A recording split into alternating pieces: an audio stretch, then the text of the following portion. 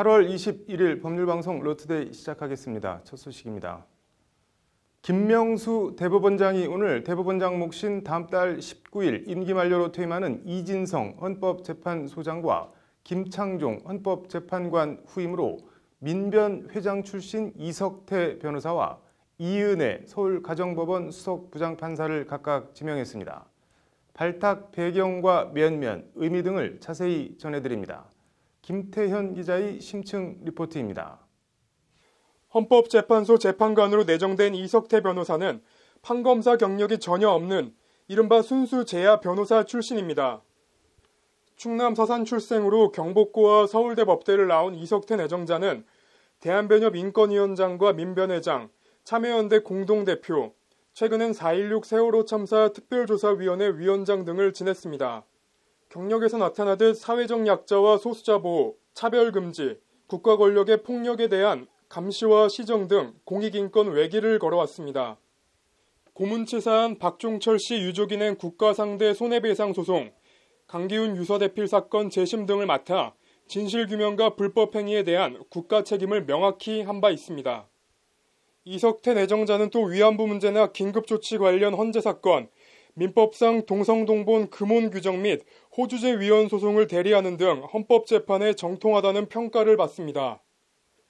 다수의 헌재 사건을 대리해 국민 기본권 신장과 사회정의 구현을 위해 노력해왔다는 것이 대법원의 설명입니다.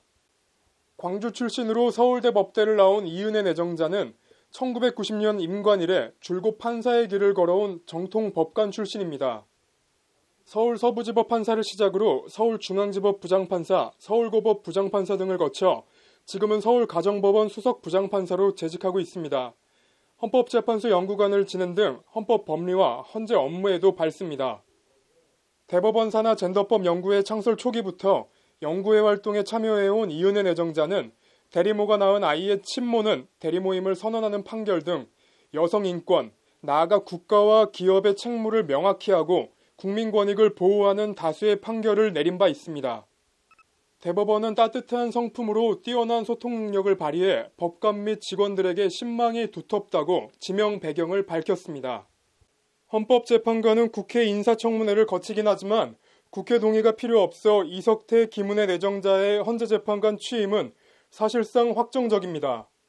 이에 따라 이석태 이윤의 내정자가 헌재 재판관에 취임하면 헌재는 두 가지 새로운 기록을 세우게 됩니다.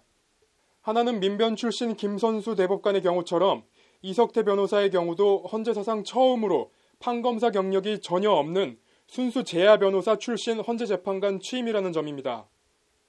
다른 하나는 이윤의 재판관이 취임하면 이선의 재판관과 함께 역시 헌재 사상 처음으로 여성 재판관 2인 시대를 맞는다는 점입니다.